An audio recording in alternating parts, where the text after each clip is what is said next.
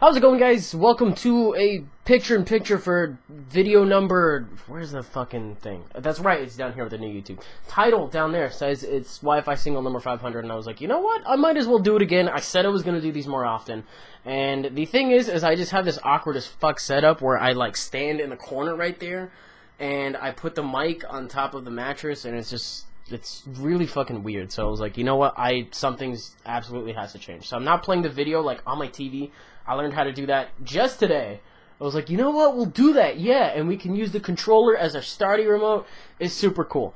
But I actually did have something special planned for 502, and I just didn't really get the time to get on it. So we're just gonna like put a rain check on that until we get to like number like 30,000 subs. Sound sound good? Sound good? Okay, sounds good. I'm I'm not even giving you the time to agree. Just go with it. Okay. So, if you're looking at the title, uh, videos against NBZ, uh, we did have this match. I think at either I think it was my stream because I don't think I've been to one of his streams in a while. Okay, yeah, my stream, and it was an RU match, kind of a mixed RU and UE kind of thing, and we'll just go ahead and jump right into it right about uh now. Okay, wow, cool. There we go. So let's put this down.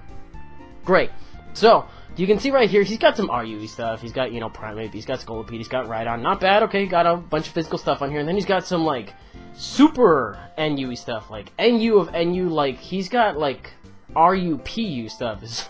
he said he was gonna bring RU NU stuff going into it, so I was like, okay, fine, I'll just do that. So I got Jynx and I got Archeops, and then I have I think my NUE shit was just like Zangoose and Wartortle.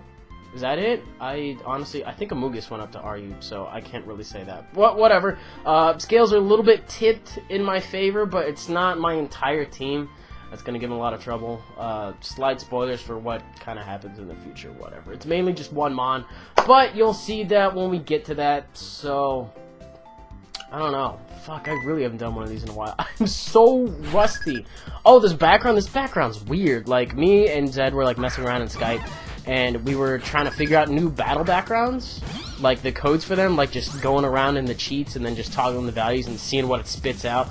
And this is one of them, so it's like, oh god, this is weird. This reminds me of that one level, like that one part in Tomba 2 where like the pig freezes everything. Shout out to like the five people that are gonna get that, by the way, because Tomba 2 is like an amazing game. Anyways, he goes for Stone Edge on the first turn. I don't really understand why. Uh, I know I'm gonna go for Stun Spore because I know these things have Vital Spirit it's going to be absolutely pointless to try to regular spore it.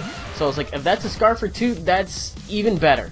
And he actually said he stayed in predicting me to forget about Vital Spirit and try to go for the sport and just get a free Stone Edge off on it. I would have just fucking U-turned, whatever. Uh, then again, he did have a chance to activate my Effect Spore, which I completely forgot that I had. Uh, it was supposed to be Regenerator. I just had that thing a long time ago. It has been changed since now, so like, don't worry about it. Just a lot of the pokes in my boxes, they're good sets, but they're fucking outdated. So that's kind of a thing. Uh, the other thing that I haven't really used, like, ever since I've had it in my box, I have two Spiritombs. I always use the Choice Banded one. I've used this thing maybe a total of twice because I do not like Rest Talkers and how unreliable they can be. But today, uh, I gotta give him a little more credit. So, turns out NBZ gets a freaking 5-hit Rock Blast on this.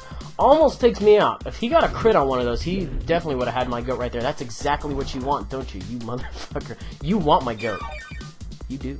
You do. Anyways, I rested off and uh, get all the way back up to full. And Sleep Talk's pretty cool because, you know, you're either going to pick Calm Mind, just keep boosting yourself up on the special end.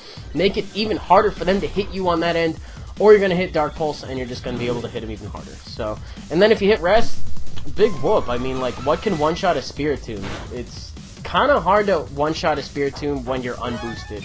So, with that in mind, I'm just to sit here and, like, set up on this thing. I really don't mind at all. I'm noticing that this thing's doing a lot of damage. Either I'm really underestimating Rhydon, or I'm just overestimating Spiritomb's physical defense. I don't know. I think Rhydon's actually got a pretty good attacking stat. But I go for another sleep talk, and I was like, oh, shit. You know what? This is not going to work out because, as a matter of fact, he's probably going to have enough. I'm counting, like, I am relying on a low damage roll on his behalf in order to live it. And he goes for Rock Blast for whatever reason. I guess he thought that was probably going to do more just based on how much he did on the first one. He did get five hits on the first one, though. But I'm feeling like that had better odds of taking me out than Earthquake did. I don't know, maybe I was just psyching him out in Skype or something and made him change up moves. But Rock Blast missed, and that lets me get back up to full again. He was pissed. He was pretty pissed, I'm not gonna lie. But uh, just get to continue the rest talking stuff. I don't know, rest talk Spiritomb was kind of cool. Still is kind of cool, just don't really use it that often. Turns out I sleep talk the Dark Pulse now, which was nice. Two turns ago would have been better, but I probably would have been left a little more vulnerable to something else. I don't know. Uh, he brings this thing in now. I don't know why he brought it in now, because it's really not going to be able to do a lot, especially looking at the damage output on that thing. If Rhydon does more with Earthquake, I'm thinking this one's more of a supporting set with, like, Sash and Spikes, or, I don't know, it's just not offensive, especially because I don't see any Life Orb Recoil.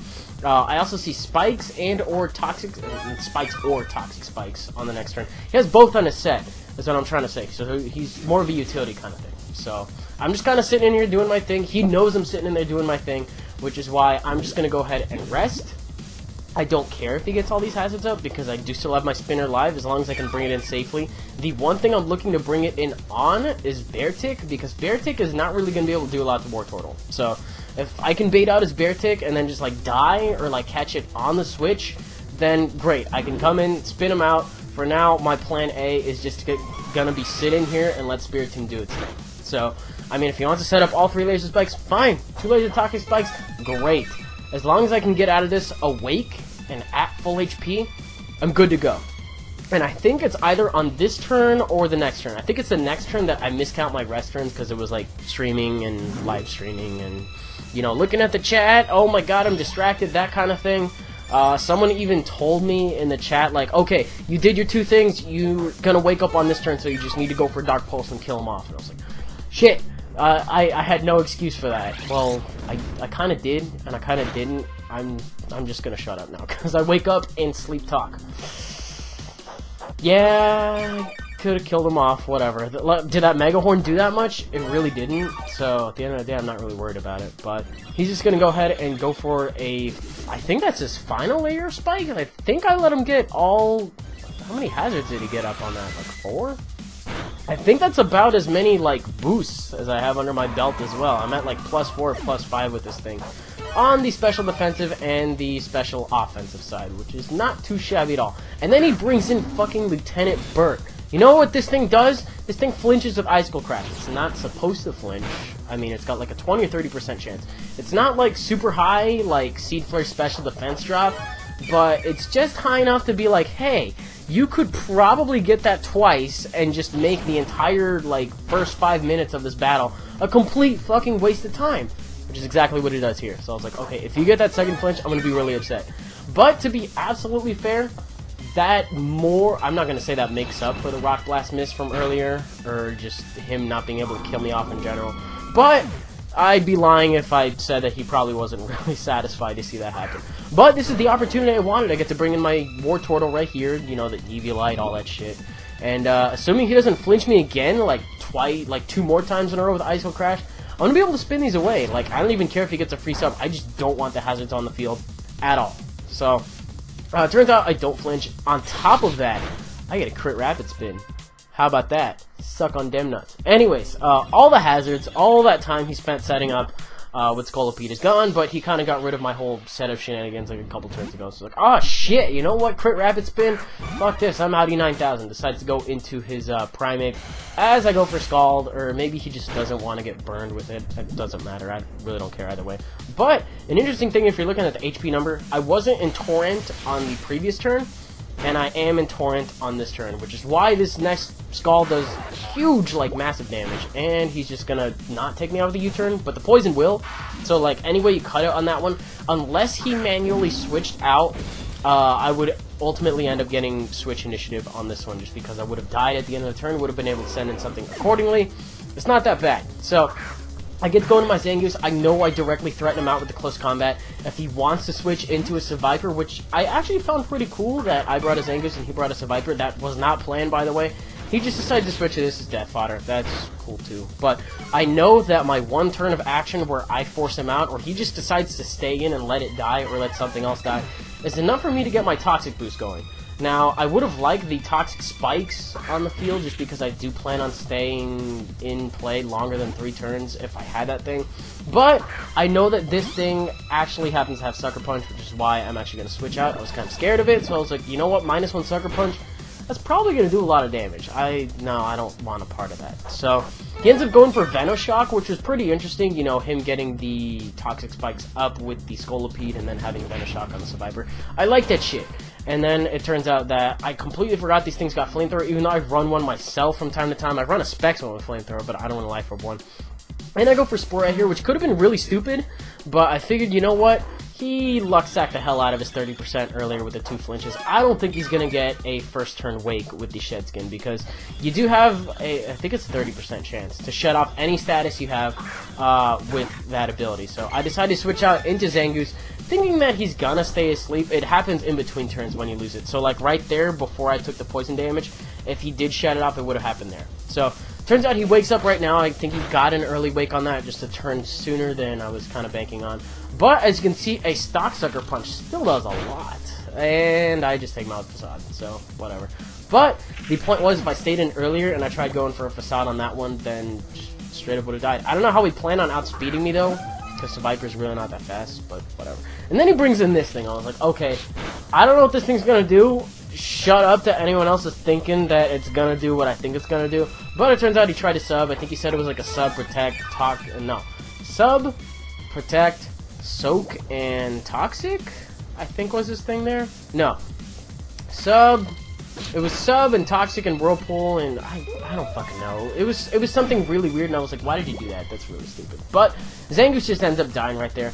I happen to know for a fact that his last one left is Lieutenant Burt. I go into my Archeops not to hit it with the Stone Edge because if I miss the Stone Edge, you can bet your sweet tits he's gonna hit me with an Ice Icicle Crash and take me out. I still have my Flight Gem intact and I'm still at like 4 HP, so I'm just gonna go for an Acrobatics. And I believe that is the game? Question mark, question mark, question mark. Will I put those over my head after this? No, no, no, no, that's the game. Okay, so anyway, that was an RE match. I hope you guys enjoyed it. If you did, you can leave a like rating, comment, and subscribe, and do your thing. Uh, definitely, since I figured out how to do this, at least one picture-in-picture for a week. This is not even that big a deal.